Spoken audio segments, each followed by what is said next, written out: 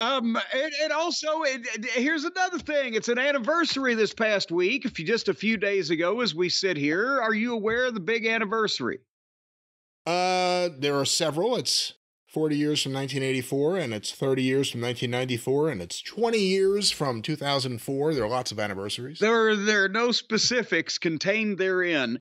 I don't know if I've I haven't told this story in in years. Maybe I have not told you this story, but in very brief, did I tell you the story of the one time over the last 20 years or whatever the f- it was that I considered on a limited basis attempting to fly domestically?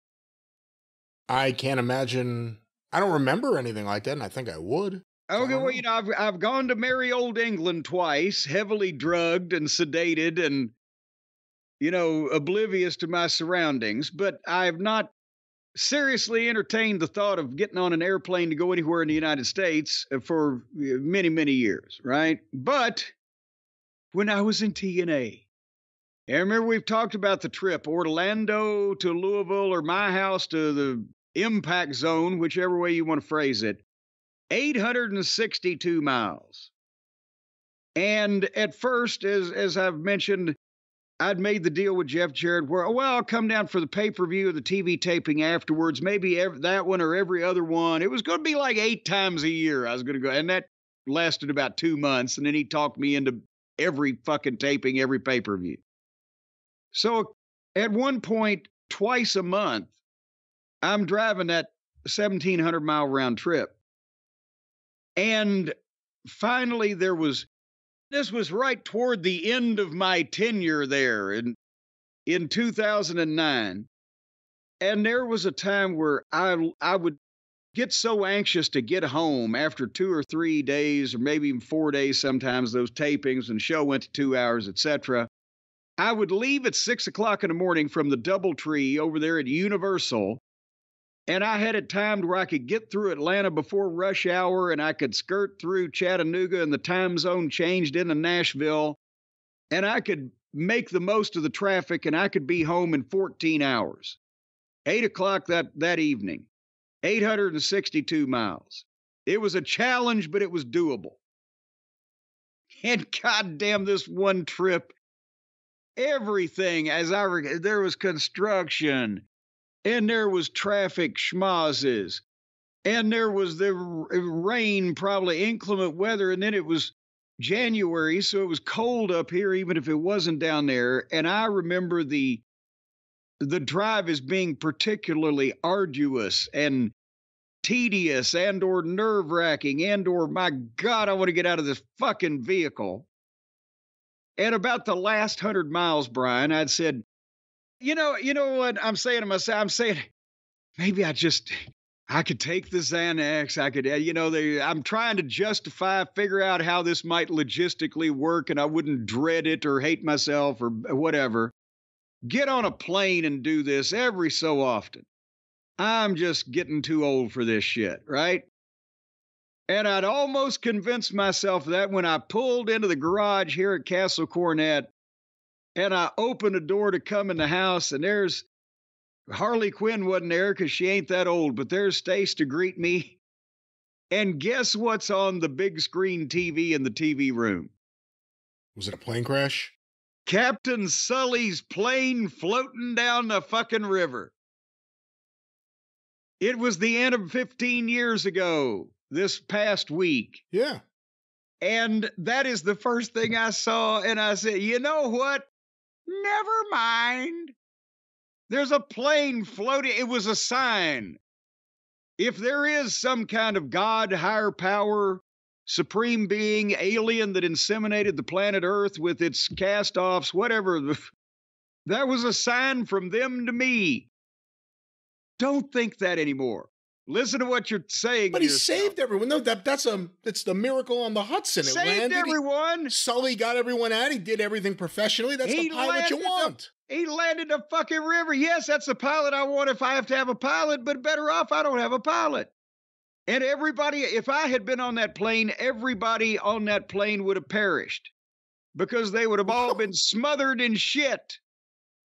Can I read you something? Because it's so funny you bring this up. Someone just posted this the other day into the Cult of Cornette Facebook group. I'll give him credit. Nicholas Eduardo Lopez Torres. If that is if indeed, that if those are indeed all his real names. He posted this from the Gary Hart book. Uh, the actual title was My Life in Wrestling with a Little Help from My Friends by Gary Hart and Philip Varriale, notoriously out of print. Notoriously out of print. Notoriously inaccurate in some cases, or at least Gary Hart's worldview in some cases. But here's what it says I always had a great deal of respect for Jim Cornette. Because even though he had a tremendous fear of flying, oh, I remember this. He would get on an airplane to go to every show. I saw that kid fight his fear on a daily basis, and he white knuckled every flight. One time, we were coming back from El Paso, and we hit some real turbulence.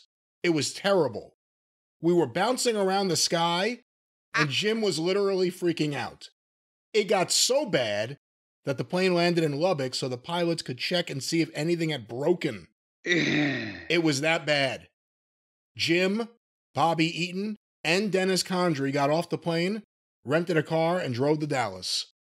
Jim was scared to death of flying, and I always felt he was the bravest guy I ever knew. And and I pre- I remember because obviously I have a copy of Gary's book, and I appreciated that. I remember reading that, but I I got to tell the the straight thing is he has two stories conflated. Can I can I give details? Yeah, please. Because eh, the, the flight that he's talking about with the turbulence was from El Paso. And it was one of those Southwest flights, and it was the they had a flight in uh, in Southwest Airlines in those days would have a flight from every one of the major Texas cities at like eleven o'clock or eleven fifteen. So whoever had done business or whatever that day could get on it and, and be back in Dallas. They, I mean, they didn't just go everywhere, but you could go to Dallas, right? So what? Uh, we were El Paso, is 600 miles from Dallas, Texas, even though it's in the same state. Or Lubbock and Amarillo were 300 and 350 miles respectively. So Southwest at the time, like $39 or whatever, one way. And you could just walk up and buy the ticket. Is the you know, cattle car of the air. So everybody would try to get the last flight to get back to Dallas after the show. And that's it's 11 o'clock, and so it's pitch fucking black outside. And we get up, and it's Gary Hart, one man gang, me, Bobby Eaton, Dennis Condrey, the Fantastics, all the world class guys are. Uh, we're not sitting because there's obviously regular people, although not too many of them on this flight. So we're not like sitting with the baby faces or whatever. We're still in the groups, but we're all on this fucking plane. Everybody's been on the show. And this thing starts bouncing up and down, and you can see the the wings and you can hear them creaking and you can see them moving in greater fucking uh, space and frequency than the actual cabin of the plane is moving. Those wings are fucking flapping, right? And sideways. And I think Tommy Rogers just it, he was sitting with a bunch of girls in the back and he pulls out a joint and just starts smoking a joint and everybody's holding on to shit and I'd always I laughed with Gary and later on when we would uh, be on Crockett's plane uh, during a period of time he was there or whatever the case I always joked that I liked flying with Flair because how many people you know been in two plane crashes, right? So right. I've got better odds. Gary had been in two plane crashes. Two. He had been in the in the famous one, and he had also gone down in a private plane. Um, you know, years before that. So I was especially happy with him uh, because of how many people you know been in three plane crashes, right? But anyway, um, so that's the but the the renting the car was a different time. It was from Amarillo. We didn't land in Lubbock. It was Amarillo to Dallas, where we were trying to get out after a Lubbock Amarillo double shot. And the last we were there at the airport because only 10 minutes from the building, but this thunderstorm came up and the fucking lightning and all this bullshit.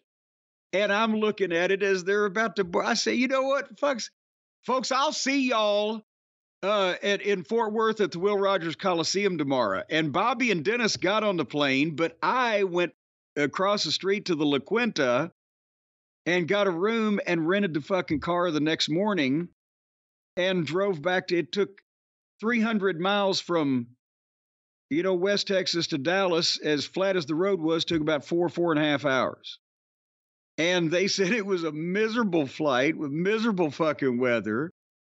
And it fucking poured rain on them when they got back at the airport trying to get in their car and the whole nine yards. And i just had a pizza the fucking la quinta and cruised on down the road the next day in a relaxed state but I would do things like that. We, we were, Crockett had run Cincinnati, and we were on a loop that we had flown to the start of, and the next day was Charleston, West Virginia, right?